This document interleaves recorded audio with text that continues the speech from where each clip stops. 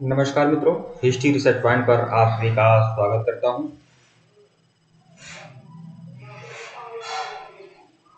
Uttarakhand integrate social science history की टेस्टरी चल रही है और यह टेस्टरी संख्या आठ है मित्रों। अगर इसके पहले का वीडियो अगर आप लोगों ने नहीं देखा है तो प्लेलिस्ट में जाइएगा। UK UK UKPSC integrate T history test के नाम से प्लेलिस्ट बनी हुई है, जाकर देखिएगा। ऊपर हमारा ऑफिशियल व्हाट्सएप नंबर दिया गया है, जो भी लोग UKPSC Uttarakhand L T grade S S T history का कंप्लीट कोर्स ज्वाइन करना चाहते हैं ज्वाइन कर सकते हैं। इसमें आप लोग को तीन हज़ार एमसीक्यू की टेस्ट सीरीज़ मिलेगी फुल एक्सप्लेनेशन के साथ। साथ ही साथ आप लोग को सारा सारा नोट्स मिलेगा हैंड नोट्स मिलेगा पीपीटी नोट्स मिलेगा। जो लोग हमारे सीरीज़ को ज्वाइन करना चाहते हैं ज्वाइन कर सकते हैं। केवल सात सौ निन्यानवे रुपए की सीरीज़ है। इसमें आपको 50 परसेंट डिस्काउंट के साथ मिल रहा है सात सौ निन्यानवे का। ठीक है? और हमारा ऑफिशियल व्हाट्सएप नंबर डिस्क्रिप्शन में भी है, ऊपर भी शो हो रहा है, यहाँ पर भी है। आप लोग मैसेज ज़रूर कर लीजिएगा कर लीजिएगा यूपीपीएससी एल्टीग्रेड एसएसटी हिस्ट्री की टेस्टरी चल रही है। हमने प्रागैतिहासिक काल देख लिया था, और सिंधु घाटी सभ्यता से संबंधित सीरीज़ है, लगभग 121 प्रश्न है। सिंधु घाटी सभ्यता से संबंधित 121 बिना एक्सप्लेनेशन वाले प्रश्न हैं, और उसके बाद 80 प्रश्न लगभग एक्सप्लेनेशन वाले हैं। कुल मिलाकर सिंधु घाटी सभ्यता में 100 परसेंट आप लोग का कंप्लीट करा दूँगा। ठीक है? और इसी तरह से प्रागैतिहासिक काल भी आप लोग का कंप्लीट कराया गया है। प्रागैतिहासिक काल से संबंधित सीरीज़ भी आप लोग को दी गई है। तो यूकेपीएससी इंटीग्रेट एसएसटी हिस्ट्री का जो सिलेबस है सिलेबस वाइज सारा का सारा मटेरियल दिया जा रहा है। आइए शुरुआत करते हैं। यह टेसरी संख्या आठ है मित्रों। टेसरी संख्या टेसरी संख्या एट सूचीवन को सूची टू से सम्मिलित करना है। तो सम्मिलित करिए, हड़प्पा जो है यह किस नदी के किनारे है तो हड़प्पा आपका चेंज कर लेता हूँ।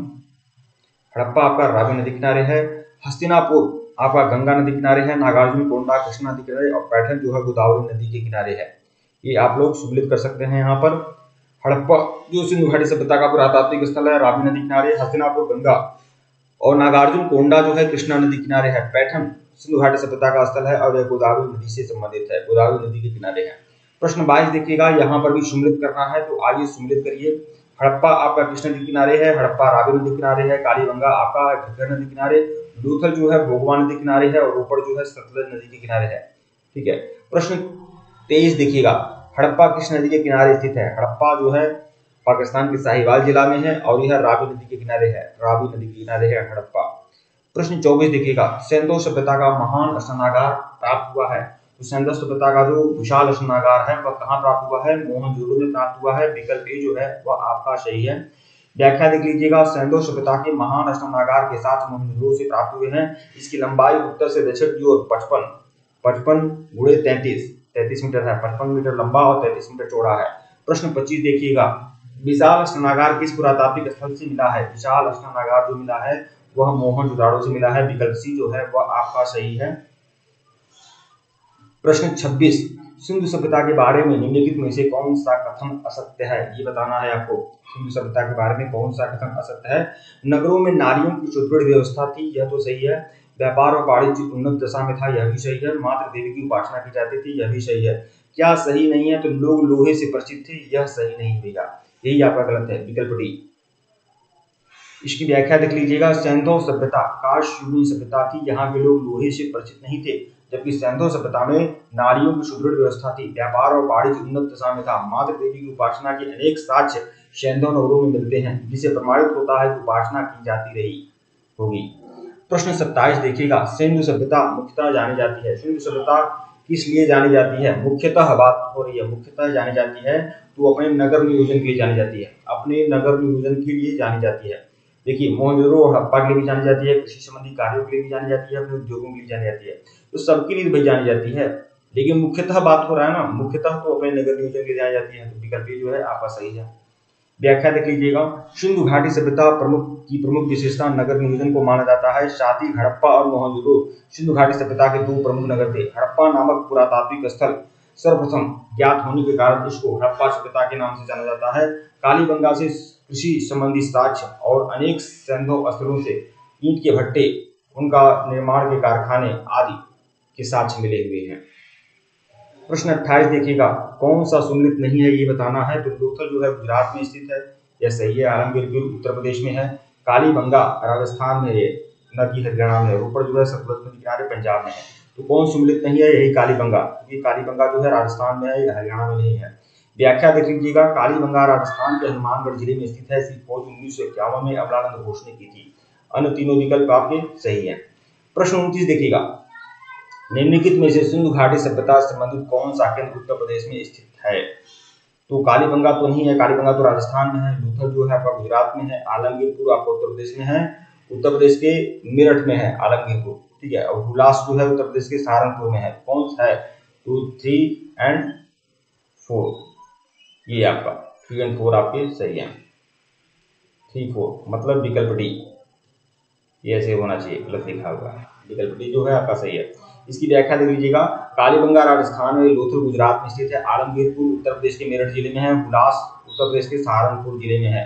प्रश्न तीस देखिएगा। हड़प्पा संस्कृति के स्थल और उनकी स्थिति संबंधी निम्नलिखित युगों में से कौन सा सही सुमिलित नहीं है? कौन सही सुमिलित नहीं है, ये आपको बताना है। तो आलमगीरपुर जो है, उत्तर प्रदेश में है, बनावली जो है, हरियाणा में है, दाइमाबाद आपका महाराष्ट्र में है, राखीगढ़ी राजस्थान में नहीं है, बल्कि यह हरियाणा में है, राखीगढ़ी। तो यही आपका सुमिलित नहीं है, ठीक है, विकल्प डी। राखीगढ़ी, हरियाणा के हिसार ज़िले में घग्गर नदी के तट पर अवस्थित है। इस स्थल की खोज उन्नीस सौ उनहत्तर में सूरज भान ने किया था इसके खोज। सूची को सूची टू से मिलाना है तो मिला लीजिए। बालू सिंधु घाटी सभ्यता का स्थल है और यह आपका हरियाणा में है बालू। मांडा सिंधु घाटी सभ्यता का स्थल है और यह आपका जम्मू कश्मीर में है। पाडरी गुजरात में स्थित है। पाडरी जो है, सिंधु घाटी सभ्यता का स्थल है और यह आपका कहाँ है? गुजरात में। हुलास जो है, सिंधु घाटी सभ्यता का स्थल है। ये कहाँ है आपका? सहारनपुर, उत्तर प्रदेश में है। ठीक है, इस तरह से आप लोग मिला सकते हैं, यह आपका सही सुमित है। प्रश्न तैतीस देखिएगा, यहाँ पर भी आप लोग को मिलान करना है, हड़प्पा संस्कृत के निम्नलिखित स्थलों में से कौन सिंधु में अवस्थित है? तो हड़प्पा तो जो है सिंधु में नहीं है मोहनजोड़ो जो है पाकिस्तान के सिंध प्रांत में है और सिंधु नदी के तट पर है चंद्रो भी सिंधु नदी के तट पर है। सुरकोटदा कच्छ में है, गुजरात के कच्छ में है तो कौन कौन अवस्थित है, बता रहा है तो मोहनजोड़ो और चंद्रो मतलब दो एंड तीन। दो and three two and three विकल्प जो है आपका सही है। उपयुक्त विकल्पों में हड़प्पा पाकिस्तान के पंजाब में है मोहनजोड़ो और चंद्रो दोनों सिंध प्रांत में है। सुरकोटदा जो है गुजरात के कच्छ में स्थित है। प्रश्न चौतीस देखिएगा मोहनजोदड़ो निम्नलिखित में से कहाँ स्थित है? मोहनजोदड़ो पाकिस्तान के सिंध प्रांत में है तो विकल्प सी जो है वह आपका सही है। प्रश्न पैंतीस देखिएगा, चंद्रों के उत्खनन का निर्देशन किसने किया था? तो किसने किया था? जी एच मैके ने किया था। विकल्प ए जो है आपका सही है। मोहनजोदड़ो से लगभग 130 किलोमीटर दक्षिण पूर्व में स्थित चंद्रों की खोज सर्वप्रथम उन्नीस में एम जी मजुमदार ने किया था और उन्नीस सौ में मैके ने इसका उत्खनन किया था।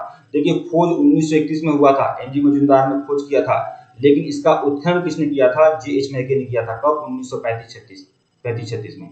प्रश्न छत्तीस, देखिएगा, सिंधु घाटी सभ्यता का कौन सा स्थान पाकिस्तान में है? तो वह है आपका हड़प्पा। हड़प्पा आपका पाकिस्तान के शाहीवाल में है। विकल्प बी जो है, आपका सही है।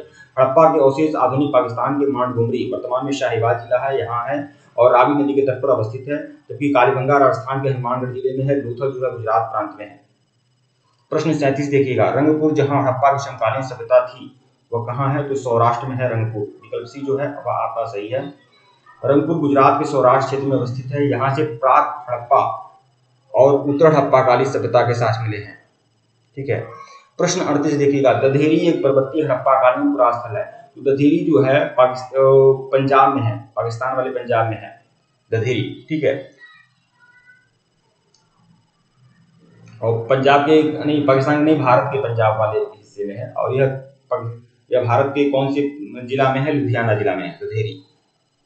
दधेरी एक पर्वतीय पुरास्थल है, जो पंजाब प्रांत के लुधियाना ज़िले में गोविंदगढ़ के पास स्थित है। लदेहरी स्थल चित्रित धूसर ब्रह्मांड काल से संबंधित है। प्रश्न उनतालीस देखिएगा। सिंधु सभ्यता का कौन सा स्थान भारत में स्थित है? तो ये आपका लोथल। लोथल जो है गुजरात में स्थित है। शून्य सभ्यता का स्थान लोथल गुजरात में स्थित है। शून्य सभ्यता से संबंधित लोथल नामक पूरा स्थल गुजरात के अहमदाबाद ज़िले में भोबा नदी के तट पर स्थित है। सरगोल गाँव के समीप स्थित है। हड़प्पा, मोहल्लो, पाकिस्तान में स्थित है।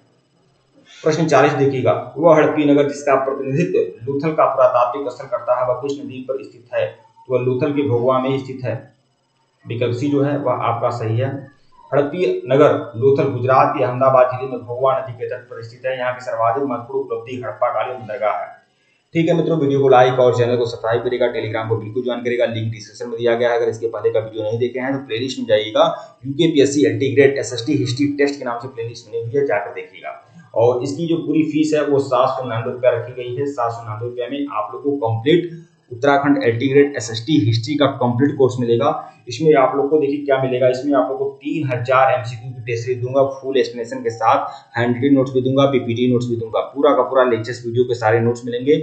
और अगर आप लोग इसे अच्छे तरीके से फॉलो कर लिए तो एस एस टी हिस्ट्री में आप लोग को बेहतरीन परिणाम देखने को मिलेगा। तो जो लोग हमारे कोर्स को ज्वाइन करना चाहते हैं व्हाट्सएप पर मैसेज कर सकते हैं। ऑफिशियल व्हाट्सएप नंबर डिस्क्रिप्शन में है और ऊपर भी शो हो रहा है। धन्यवाद आप लोग को।